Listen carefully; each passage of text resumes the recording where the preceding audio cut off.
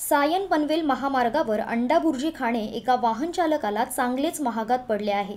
खारघर ते कळंबोली या रस्त्यावर बेकायदेशीरित्या उभारलेल्या गाड्यांवर अंडाबुर्जी खाणाऱ्या एका व्यक्तीची दुचाकी चोरीला गेल्याची घटना घडली आहे. या प्रकरणी कळंबोली पोलीस ठाण्यात तक्रार दाखल करण्यात आली असून पोलीस तपास करत आहे. पनवेल येथे राहणारे कोंबडी विक्रेते हसन जाफर शेख हे कुर्ला येथून दुचाकीवर पनवेलकडे जात होते.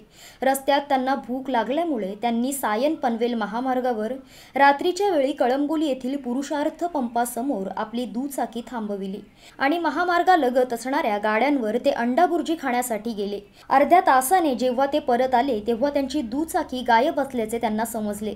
हसन यांनी दुचाकी शोधण्याचा प्रयत्न केला मात्र ती सापडली नाही. अखेर त्यांनी कळंबोली पोलीस ठाण्यात तक्रार दाखल केली.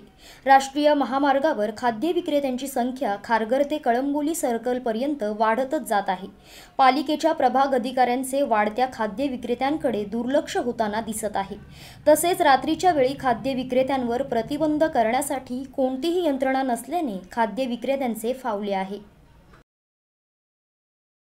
पनवेल आणि नवी मुंबईच्या ताज्या घडामोडींसाठी मल्हार टीव्ही न्यूज सबस्क्राईब करा आणि बेल आयकॉन दाबून रहा अपडेट.